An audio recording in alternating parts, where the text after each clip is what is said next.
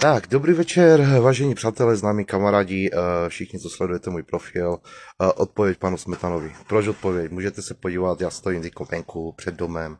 Eh, celý den jsem lítal, zařizoval, vysílal se ze zastupitelstva města a určitě nejsem ten člověk, který teď, když se těším domů, Budu jako první věc, kterou budu dělat a budu nějaké podmínky, které mi někdo diktuje, uh, budu prostě něco dělat. Ne, nebudu to dělat.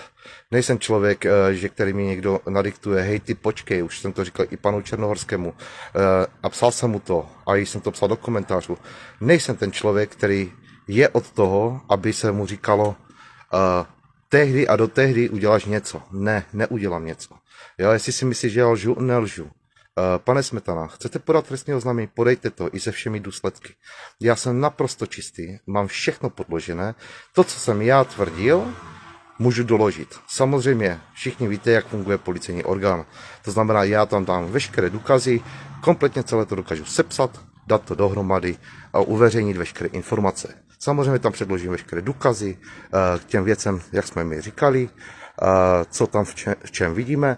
A nebude tam jenom důkazy tady tohle, co to třeba ohledně pana Černohorského, ale budou tam i důkazy, nahrávky od paní Redové, bude tam zpráva třeba, co mi psal pan Jindřich Reichl a tak dále. A nad rámec četření se to asi těm lidem nebude líbit, co v tom všechno je spatřováno. Já jsem vždycky říkal, že pojedu zákonnou cestou, Vždycky zákonnou cestu budu hajit a zákonnou cestu budu provádět. Já nebudu dělat nic nezákonného, nebudu obhajovat nezákonné kroky, byť můžu z morálního hlediska být skvěle a můžou být luxusní tyhle tyto kroky, co se týče, uh, že obejdeme zákon, takovým způsobem, že pomůžeme někomu, to sice fajn. Jo, to může být jako z morálního hlediska super. Ale bohužel je to mlin pro Rakušana. A já nebudu Rakušanovi chodit na ruku. Prostě nebudu. A nebudu si nechávat diktovat informace a diktovat věci, eh, že někdo mi řekne nějaké ultimatum a pokud to nesplním, to ultimatum, takže najednou lžu. Opravdu, pane Smetana, myslíte si, že byl hal jenom proto, že nesplním vaše ultimatum? Jo, teď jsem venku, teď přicházím domů. A jak já vidím ty zprávy a ty, a ty texty? Ne, ani vy, ani pan Černohorský mě nedonutí si vybíjet patrony, aby vám něco pouštěl. A pokud chcete dát uh, souhlas, že dáváte souhlas s posledním uh, hovorem, proč nedáte souhlas ke všemu? Ale úplně ke všemu. Dejte souhlas se zveřejněním všech nahrávek. Úplně všech nahrávek. Jo, a ukážeme potom, můžeme jít sekundu po sekundu, taky si můžu vzít do ruky tablet a můžu si napsat, kde co je, kde se co pane Smetana řekl, kde jste pane Smetana co udělal. Jo, a o tom to je.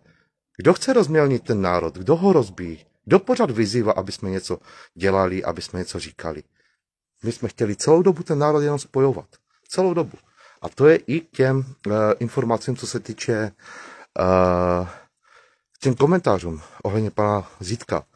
Proč jsme ti, Ivane, říkali, že, nech, že si nepřejeme tohle komentovat? Protože jsme ty lidi chtěli spojovat. Nechtěli jsme, aby se ti lidi mezi sebou hádali. To jsme chtěli. A ono se ti to nelíbilo. A komentoval jsi to, protože si děláš, co chceš. Tak jak si ty děláš, co chceš, já si budu taky dělat, co chci. Mně taky nikdo nebude diktovat, tak jak ty říkáš, KTV nikdo nebude diktovat, co má dělat. Ano, ani mě se nebude diktovat, co mám dělat já. To znamená, chceš podat trestní oznámení? No tak ho podej. Mě nikdo nebude vyhrožovat nějakým trestním oznámením. Provedej si ho, samozřejmě se všemi důsledky si ho podej, v klidu, v pohodě. Já jsem úplně v klidu. Jestli se možná se dopustí jako přestupečku malinkého, jo, i to se možná dá tam někde najít, je to možné.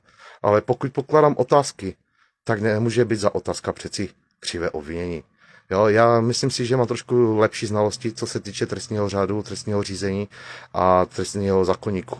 To znamená, pohodě, napiš si, co chceš, Ivané, a já se samozřejmě budu uh, bránit na základě toho. Čekám a samozřejmě předložím veškeré, ale veškeré důkazy, úplně veškeré důkazy, které mám, tak to předložím orgánům činným v trestním řízení. Myslím si, že pokud uh, jsem vyhrál 4-0 nad policií, ne Ivane tvojí zásluhou, ale mojí zásluhou, protože jsem to vykopal celé já. To, že jsi to ty jenom monitoroval, neznamená, že to je tvoje zásluha. To je to, že jsem to sepsal a vykopal právně já, ne ty. Jo, to znamená, myslím si, že takové vyhrušky ohledně nějakých trestných činů, pomluvy tak to bude pro mě sranda, protože já to mám všechno, ale všechno podloženo. To znamená, uh, tento národ je potřeba uklidnit. Je třeba vytáhnout ho z morální bídy. A nejenom bídy té, té uh, vládní, protože ve vládě je ta morální bída. Samozřejmě všichni o tom víme. Ale ona ta morální bída je i na té vlastenecké scéně. Na to hodně zapomínáte. A já jsem se k tomu už jednou vyjádřil. Mi nejde o vlasteneckou scénu.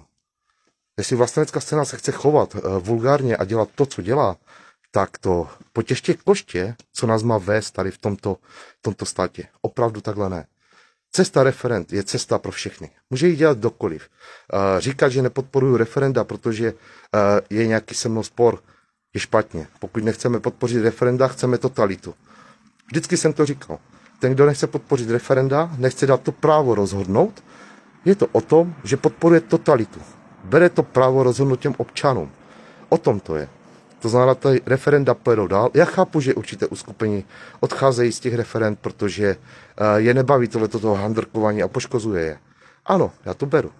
Ale samozřejmě, uh, za koho mám bojovat?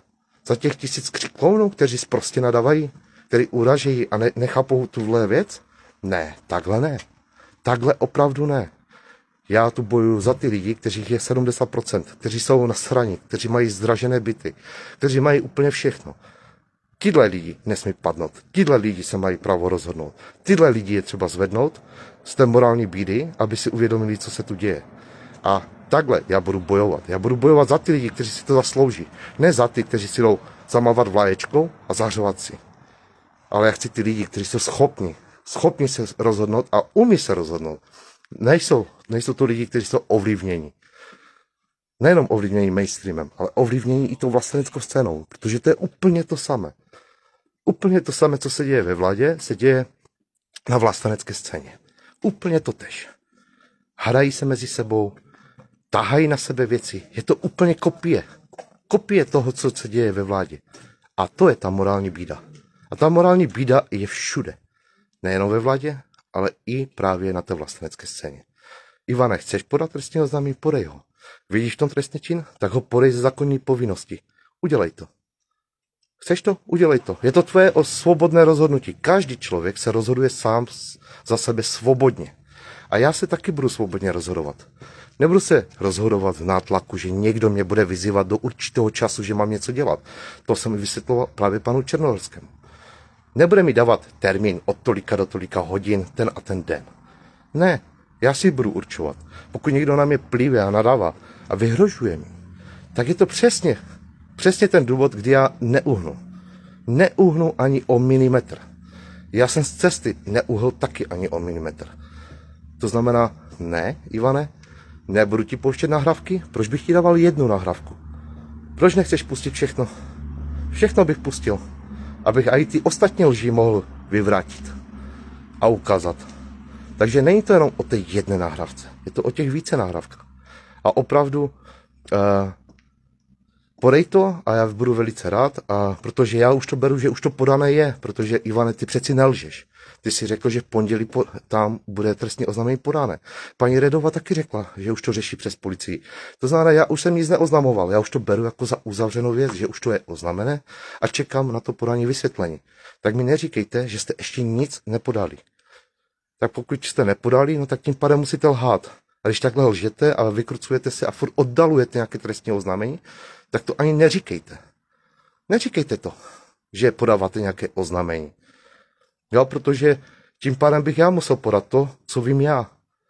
Jo, ale já ho nepodávám, protože vím, že jste to podali vy.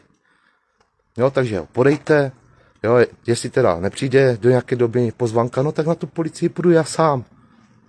A dám tam ty informace ale dám tam se vším všudy. Se vším všudy.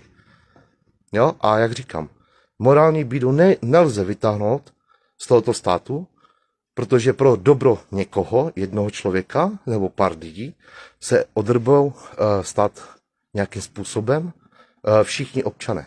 Tohle není náprava morální bídy. To opravdu není náprava. Náprava morální bídy je to, že zákonnou cestou si to vezmeme zpátky. Ta možnost tady je. Ta možnost tady je krajský referent, kterou já půjdu, a druhá cesta je politická, a politickou cestou si to občané můžou vzít zpátky. můžou všichni založit ty politické hnutí, udělat uh, koalice, každý sám za sebe, každý skupinka třech lidí, udělat to tady tímto způsobem a vyhrát to v těch volbách.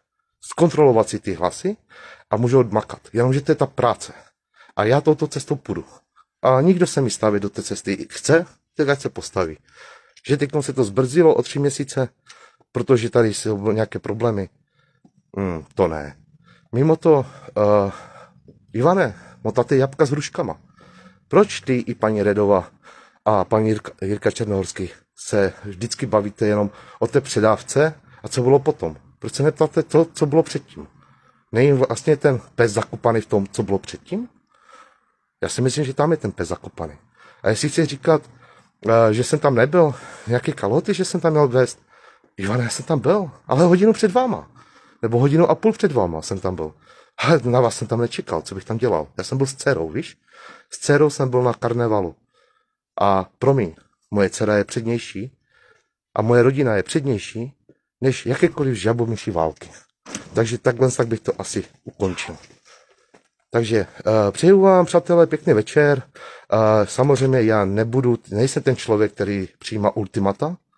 Nejsem ten člověk, který, uh, který se nechá uh, handrkovat s tím, že, uh, jak to říct, že něco mám udělat do určitého termínu. To taky můžu říct, že teď mi dáš souhlasy, uh, Ivane, teď chci souhlas od tebe, uh, pana Černohorského, paní Redové a Jindřicha Rejchla, že můžu zveřejnit veškeré důkazy. A datovou schránkou, co? A za 10 minut. Jo? Ale jestli mi to nepřijde do 10 minut, tak lžete. To taky takhle mám povídat? Ne, to je nesmysl. To je opravdu nesmysl.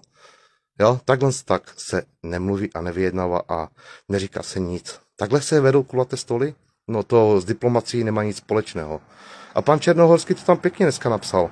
Tak jsem mu tam napsal, co je vydírání. Co je vydírání hrozbou trestného činu. A co to je? Uh, někdo se tomu směje. Ano, směje se tomu někdo, protože asi nechápete, že vy tady tím dáváte přesně mlin tomu Rakušanovi. Přesně mu dáváte důvody, proč má všechny ty lidi pozavírat. To je přesně ono. Kdybyste náhodou nevěděli, co chce, on na vás nezavře za dezinformace, ale za to, že na vás natáhne tuhle tuto špínu. Je to, ten, je to ten úkol? Natáhnout všechny na stejné místo? A všechny udělat tady za jedny tyhle tyto věci? Ne. Jak jsem říkal, celou dobu budu dělat zákonně, zákonnou cestou a tak to i skončí. Takže přeju vám dobrou noc, vidíte, je večer a já teď momentálně jdu konečně domů za svojí dcerou a rodinou. Takže mějte se krásně a panu Smetanovi to můžete poslat, nebo nechejte, to je jedno. Já si počkám, až mi do datovky přijde uh, oznámení, já si zatím stojím, já jsem si jistý, já ty důkazy mám, ale já jsem ničem nelhal. Jestli lhal někdo jiný, to už je druhá věc. Ale já jsem se žádného trestného činu nedopustil. Takže já jsem úplně v klidu. A jak říkám, to, co řeknu já, mám podložené. Takže mějte se a dobrou noc.